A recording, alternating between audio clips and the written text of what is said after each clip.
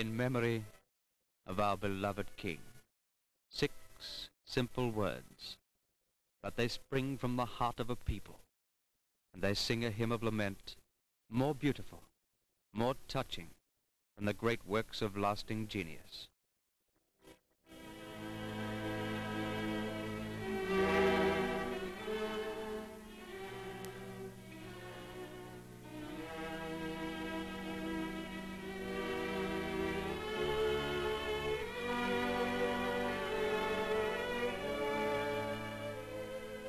A nation mourns, and with deep sincerity, even as it goes about its daily tasks.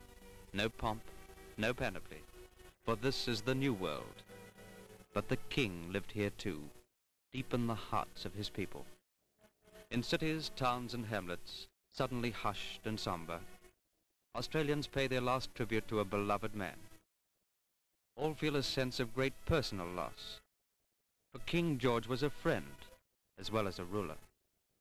Winston Churchill said of him, Never at any moment, in all the perplexities at home and abroad, public or private, did he fail in his duties. Well does he deserve the farewell salute of all his governments and peoples. And so the flags are lowered to half-mast. For a kindly man, a man of courage, a man who served his people even as he walked with death and was not afraid. People thronged the churches. He was a man of faith. His family life was an inspiration to all men. And so his subjects, whatever their faith, go to pray. The king is dead, but his memory is immortal.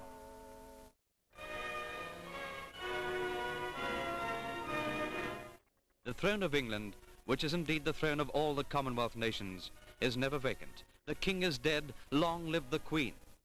And so today, for the first time in more than 100 years, a new queen is hailed. Elizabeth II, in her 26th year, the mother of children, sits upon the mightiest and most enduring throne in the world.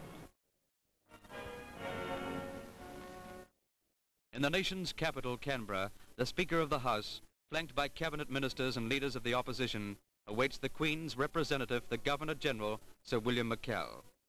Before foreign diplomats, and Australia's elected representatives, the Prime Minister, Mr Menzies, accompanies Sir William to the steps of Parliament House to proclaim the new Queen, and the Governor-General proclaims Queen Elizabeth II. Of tongue and heart, publish and proclaim that the High and Mighty Princess Elizabeth Alexandra Mary is now, by the death of our late sovereign of happy memory, become Queen Elizabeth II, by the grace of God, Queen of this realm, and of all her other realms and territories, head of the Commonwealth. The crown on the head of the young Elizabeth is a symbol not of majesty, but of unity.